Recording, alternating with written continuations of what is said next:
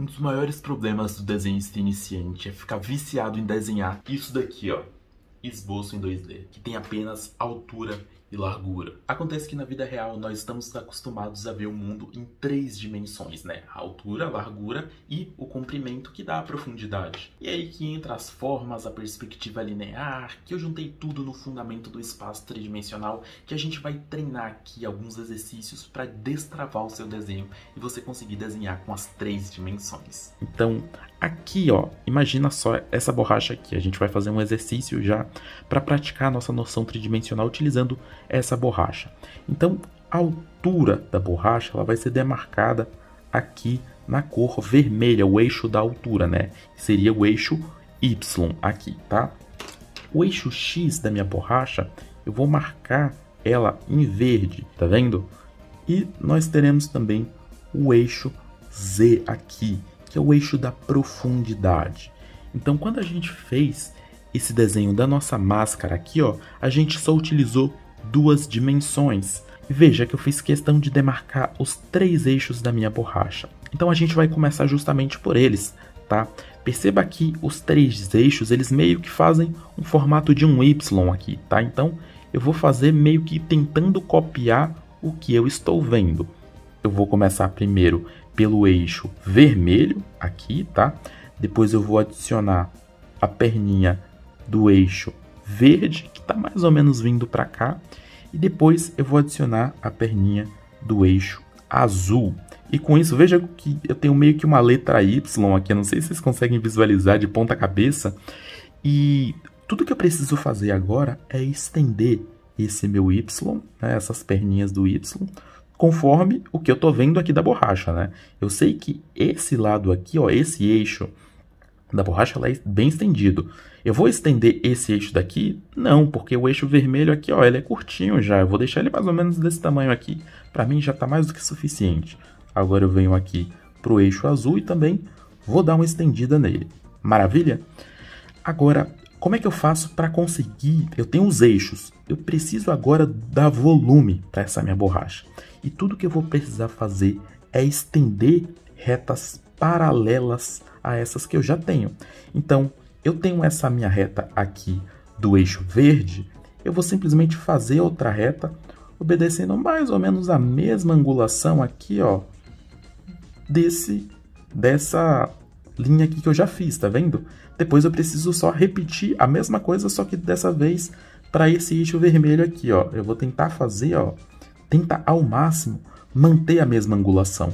Porque se você, por exemplo, desenhar ele vindo para cá ou para cá, ele vai ficar torto, tá? Então, tenta repetir aqui mais ou menos a angulação que você fez para o primeiro eixo. Isso é fundamental para você conseguir repetir aqui, ó. Vou fazer a mesma coisa com esse lado aqui, ó. Pã. Agora, novamente, eu vou repetir aqui, né, essa angulação. Agora, ó, eu vou precisar fazer que eixo que é esse daqui, ó? Seria esse eixo daqui da borracha, ó, tá vendo? Ó? Seria essa aresta aqui, ó, da minha borracha, que tá faltando aqui agora. Para eu conseguir repetir ela, eu vou ter de repetir esse eixo daqui, né? Então, venho de novo e adiciono ele aqui. E agora, para fechar, eu só preciso é, replicar essa última linha daqui. Lembrando que a borracha no ângulo que eu tô vendo é diferente do ângulo que vocês estão vendo aí na câmera, tá? Então, é, tudo bem se não ficar perfeito e também tudo bem se ficar um pouquinho torto. Afinal de contas, esse daqui é um exercício bem elementar mesmo, só para vocês começarem a se acostumar com a aplicação das três dimensões. Vejam que coisa legal. Aqui, ó, esse plano aqui, ele é nada mais nada menos do que esse plano aqui. E por mais que você não acerte a angulação aqui de tudo direitinho, você vai ter meio que uma noção de quais planos são quais, de uma angulação. Isso é muito positivo para você começar a dar os seus primeiros passos no espaço tridimensional. Ó, esse plano aqui ó, é esse plano aqui, esse plano aqui é esse plano aqui. Para o segundo exemplo, eu vou repetir. Dessa vez eu não vou ser tão. É, vou fazer um pouquinho mais rápido, tá? Para não perder tanto tempo aqui da nossa aula. Então eu venho aqui, primeiro eu mapeio a, o Y, né? Depois eu vou estender aqui as arestas conforme eu acredite mais ou menos que elas estejam. Agora eu só preciso começar a replicar aqui as minhas arestas, né? Eu só preciso duplicar elas aqui, assim, ó, pam, pam, aqui. Vou duplicar elas aqui. Agora eu duplico essa daqui, duplico essa daqui. Vou duplicar essa terceira aqui, ali para trás. E vou duplicar novamente essa daqui. E agora, de novo, eu tenho a minha borracha em mais um outro ângulo. Vejam aqui, ó, esse plano tá virado para cá, esse plano para cima e esse plano aqui tá virado para frente. Esse é um exercício muito legal para você começar a ter alguma familiaridade com os três eixos, com as três dimensões, mas você não precisa se apegar somente a ele. Então, para esse nosso próximo exercício, a gente vai tentar focar em mapear os planos primeiro dessa forma aqui e não simplesmente é, se prender às arestas, tá? Então vejam que aqui ó, eu identifico o plano primeiramente, tá vendo esse plano curvo aqui? Eu vou tentar representar ele aqui com o meu traço, tá? Então eu venho aqui, eu entendo que ele tem um círculo é, menor aqui e conforme ele vai vindo para frente, ele vai aumentando, né? Eu vou tentar forçar essa linha aqui também para ficar mais clarinho para vocês. Perceba que com isso eu tenho o plano aqui de cima, né? Que aponta para cima. Agora eu preciso dar volume para a forma. Vocês se lembram como é que eu fazia o volume? Eu simplesmente estendia as arestas aqui, ó. Perceba que a minha aresta da altura, ela ficaria mais ou menos para cá assim, né? E vou adicionar outra aresta aqui para ter o volume e agora eu vou repetir, né? Eu vou espelhar, vou duplicar essa forma aqui, ó, esse formato curvo aqui para baixo. E com isso eu consegui colocar essa borracha aqui no papel. E caso você já se sinta um pouco mais à vontade, depois que você tentar replicar alguns objetos visualmente, você pode tentar fazer eles direto da sua imaginação mesmo, tá? Então, Aqui, para começar, você pode desenhar, por exemplo, um cubo, tá? Então, você faz uma linha, depois você duplica essa linha, depois você vai ligar essas linhas, depois você vai fazer as arestas para dar o volume lá, né, do cubo, depois você simplesmente vai espelhar aqui as arestas que você já desenhou. Então assim você consegue começar a fazer algumas formas bem simples para praticar o seu domínio do espaço tridimensional e o fundamento das formas. Acontece que se você só treinar as formas de um jeito cru assim, igual a gente está fazendo, você realmente não vai ter você vai ter o ganho do espaço ali e tal, mas não é assim que as coisas se mostram, né? A gente precisa de uma abordagem um pouco mais sofisticada. Então, por conta disso, eu vou propor que você comece a manipular um pouquinho essas formas. Então, uma das formas que você pode manipular uma forma é subtrair o volume dela. Aqui eu vou, vocês vão entender melhor conforme eu for mostrando para vocês, mas eu vou basicamente tirar um pedacinho do interior dela. E para isso, eu vou traçar duas linhas de esboço aqui só para saber mais ou menos qual área eu vou retirar desse cubo. Depois, é, eu vou fazer uma outra simetricamente, né? Eu vou replicar essas linhas aqui, ó, e com isso meio que percebam que eu criei uma fenda aqui no meu cubo. Só que essa fenda, ela tá, tá seguindo o cubo, né? Vocês percebem que aqui atrás tá um vão.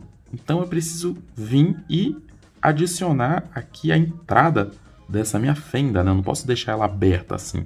Então venho aqui também e adiciono a outra parte da fenda. E com isso, eu já poderia vir aqui apagar essas linhas antigas que eu tinha, que era do meu cubo original, ó, e veja que legal o que eu fiz. Eu basicamente retirei uma fatia aqui do meu cubo, né? Eu criei uma fenda aqui nele, eu criei dois cubos porque eu cortei ele meio que no meio aqui, né? Eu posso só dar uma pinceladinha aqui só para dar mais destaque ainda. Agora, o que eu vou pedir para que você faça é que você replique esse corte que eu fiz, só que na horizontal, aqui junto comigo, tá? Então, bora lá. Como é que a gente faz? A gente começa fazendo uma linha, depois a gente vem aqui com outra linha, tentar fazer essa linha aqui na metade, né? E novamente seguindo as linhas originais aqui, ó. As linhas originárias aqui, ó. Aqui deu origem ao cubo. A mesma coisa para cá, ó. Tá vendo essa linha aqui, ó, do eixo Z? A gente vai replicar ela aqui, ó, para o centro do cubo, tá? E agora a gente vai duplicar essas linhas, essas duas linhas que a gente acabou de criar aqui, tá? Vai começar a ficar um pouquinho mais difícil, especialmente para esse cubo aqui de trás, né? Que ela começa a ficar bem inclinada, fica um ângulo mais forçado, mais desafiador, mas nada de outro mundo. E agora a gente só precisa vir aqui, ó, e dar uma pintadinha nela. E claro, para não esquecer, fazer as fendas aqui, igual eu expliquei ali anteriormente, né? As entradas. Que nesse caso, essa entradinha aqui, ela nada mais é do que a replicação dessa aresta aqui, aqui embaixo, né? Percebe? Só que ela só fica visível por um pouquinho aqui, né? Um tiquinho. A mesma coisa a gente pode fazer aqui atrás. Agora a gente vem com uma borrachinha e apaga essas linhas aqui do cubo original para fazer a silhueta realmente das entradas, né? Para dar um destaquezinho a mais. E com isso a gente dividiu o nosso cubo aqui, ó, nosso cubo original, em quatro. O que a gente fez foi uma subtração de formas. Agora nada impede de nós adicionarmos mais formas aqui, né? Que é a parte mais fácil, por isso que eu deixei para depois aqui, ó. Tudo que eu preciso fazer é replicar as minhas arestas. Então, eu sei que o meu a minha angulação original está mais ou menos assim, né? Então eu posso vir aqui e fazer primeiro é, essa aresta aqui. Depois eu venho e replico essa aresta daqui, que é do eixo Z. Agora eu venho e preciso replicar essa outra aresta aqui e eu vou novamente fazer aquela técnica de replicar todas as arestas aqui em uma única direção, dessa forma aqui, beleza? Então com isso eu adicionei um cubozinho aqui, né, um retângulozinho na verdade, em cima desse retângulo que são quatro retângulos aqui, e com isso você faz a adição de formas. Claro que quando a gente está lidando com cubos, triângulos também, né, que esses ângulos retos acabam auxiliando bastante a nossa direção, mas a gente já poderia aqui, por exemplo, a introduzir o conceito dos corpos redondos, né, que são formas, as formas que elas se apresentam com mais naturalidade no mundo. Afinal de contas, poucas coisas você olha no universo aí é perfeitamente retinha assim, né? Então, o que eu vou pedir para que você faça, primeiramente, é uma bola, tá? Um, uma bola, um círculo aí. Se a gente olhar para esse círculo aqui, realmente não dá para ter muita noção da angulação dele, para onde é que ele está virado, qual que é o volume dele, sabe? Diferente do quadrado, que as arestas, elas praticamente te entregam todas as informações que a gente precisa para o cubo não. Para o cubo, se você só desenhar a silhueta dele, ó, tá, mas ele está virado para onde? O cubo eu consigo ver aqui, para onde é que as faces estão viradas, né? Eu sei que ela tá virada para cá, eu sei que ela tá virada para cá, mas onde é que tá a frente, onde é que tá as costas desse meu círculo aqui que eu acabei de desenhar ou desse daqui? Entende? Então, por conta disso, existe um conceito no desenho que a gente chama de linhas guias, tá? Que são linhas que elas não existem, elas são linhas que a gente vai adicionar mais no nosso esboço aqui, ó, que normalmente a gente usa para marcar as metades de objetos que são mais complexos, como os corpos redondos, por exemplo. Então eu vim aqui ó, e tracei uma linha aqui, e agora eu posso vir e traçar outra linha aqui. Com isso, eu consegui meio que mais ou menos ter uma noção da, das metades desse cubo, né? Eu poderia vir também e traçar mais uma linha guia aqui, ó. E veja que com isso eu consigo agora ter uma noção tridimensional, né, em três dimensões, com altura, com comprimento e com profundidade desse meu desse meu círculo aqui, né? Ele não é mais só uma bola flutuando no meio do nada, ele tem volume aqui, perceba? Graças às linhas guias que eu adicionei, eu também tenho angulação, que antes eu não tinha, tá vendo? Ó, olha aqui, ó. Eu sei que essa minha bola ela tá virada para cá por conta das linhas guias que eu desenhei, tá vendo? Ó, então, quando você está lidando com corpos redondos, é bom que você domine a técnica das linhas guias, tá? Isso é especialmente útil e muito usado quase que inconscientemente no método de Loomis, quando a gente vai fazer as cabeças lá, né? Você desenha um círculo, depois você vem aqui divide ele na metade vertical e horizontal, corta aqui na lateral, vem aqui, desenha o queixo e com isso aqui, ó, perceba que são as linhas guias que você desenha que dá a direção aqui dessa cabeça, tá vendo? Ó, olha que legal. Sem elas, você teria muito menos informações e concretude para saber de onde é que essa cabeça ela tá virada, para entender realmente a formato dessa cabeça, tá? E por que é importante você entender todas essas coisas de formas aqui, cara? Pô, parece tudo tão elementar, né? Pô, a verdade é que absolutamente tudo que a gente consegue enxergar ou ver é feito a partir das formas, tá? Então aqui eu vou começar é, fazendo uma demonstração aqui com um cubo, tá? Para você ver o poder desse fundamento. Então adicionei um cubo aqui, depois nada me impede de adicionar outro cubo aqui, né? Igual a gente fez lá o nosso cubo anterior. Agora, eu aqui só para nortear você, eu estou tentando fazer aquelas construções egípcias e árabes, então eu sei que elas têm meio que umas pontinhas aqui no final, tá? Eu também sei que normalmente no centro aqui, para encontrar o centro de um plano em perspectiva, você traça as diagonais, o centro é encontrado aqui mais ou menos nessa altura. Eu não vou entrar tanto nesse mérito aqui é, porque realmente essa é para ser uma aula introdutória de formas, tá? E com isso eu consegui é, centralizar o plano que eu adicionei aqui em cima. Depois eu só preciso vir e adicionar aqui aquelas coxinhas, sabe? E essa coxinha aqui que eles adicionam no topo das construções seria um corpo redondo, igual a gente estava falando lá. Então seria legal ter também algumas linhas guias aqui para passar a impressão de volume dessa coxinha. Né? Não é coxinha o nome do negócio, mas eu realmente não lembro como é que se chamava. Mas, cara, eu também posso adicionar outro cubo aqui, tá? Para ser mais uma torre, não seria um cubo, seria um retângulo, né? Eu tô chamando de cubo porque eu tô falando no automático, falar e desenhar é meio complicadinho, mas eu posso adicionar também um outro hemisfério aqui em cima desse, desse retângulo. Depois eu posso vir aqui e adicionar mais um cubo, dessa vez é um cubo mesmo de verdade, né? Eu espero que seja um cubo aqui. E adicionar mais outra coxinha aqui em cima dessa outra construção aqui que está longe. Agora eu posso começar também, eu acho que eu vou estender ele um pouquinho mais aqui, ó, para deixar ela mais alta assim, né, essa construção aqui. É, eu posso, eu sei que aqui é o meu meio, né, então poderia vir aqui e fazer meio que o desenho de um portal já dessa construção, algo parecido com isso daqui. Posso fazer um, um super portão aqui para dentro.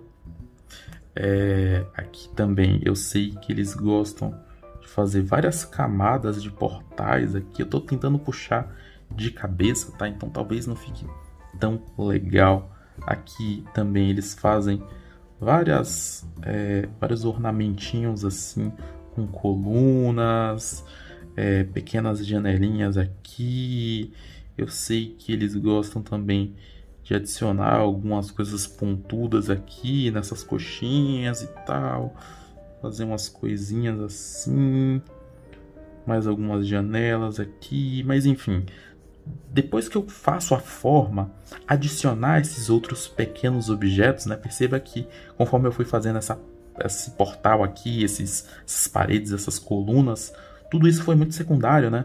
Porque eu já tinha o esboço inicial das formas. Então as formas, todas essas formas que a gente estava vendo aí, como é, cubos, os corpos redondos, é, que seja os triângulos, tudo isso compõe, na verdade, todas as formas que nós conseguimos enxergar. Então, quando você consegue dominar o espaço tridimensional e as formas, você está apto para desenhar literalmente qualquer coisa que você consiga imaginar. Então essa foi só uma demonstraçãozinha básica mesmo para te mostrar a importância de você saber o mínimo do fundamento das formas, porque você vê tudo que eu te mostrei aqui foram coisas extremamente elementares. Eu não estou fazendo nenhuma engenharia quântica aqui, é tudo realmente coisas construídas a partir das formas básicas que muitas pessoas ignoram ou acham que é chato, que não precisa aprender, que já é bom o suficiente.